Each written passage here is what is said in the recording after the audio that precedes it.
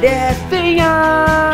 É, Bebê Fire, é isso mesmo, é isso mesmo. Estou aqui para a tarefinha 11. Já estamos na nossa tarefinha 11, já está na minha mão impressa aqui bonitinha.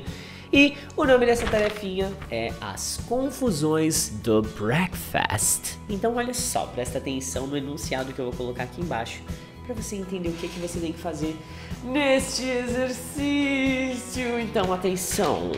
Complete os espaços a seguir com as seguintes opções: breakfast, for breakfast, have breakfast e realize as traduções na linha de baixo.